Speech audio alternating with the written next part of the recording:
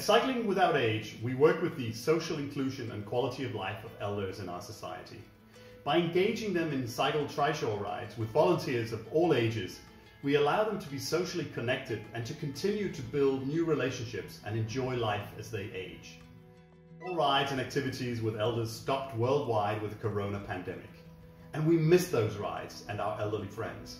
This has left an already vulnerable group further exposed to social isolation. And it has an enormous negative impact on their mental and physical health. This is also true about whole populations at the moment. Collectively, we can all really empathize with elders. The response from our 2,000 teams worldwide is remarkable.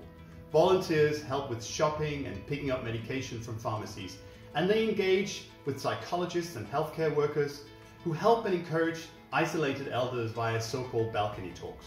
And last but not least, we are now meeting in global Zoom calls to push for system change under the heading The Right to Relate, in a major push to make relationships a human right.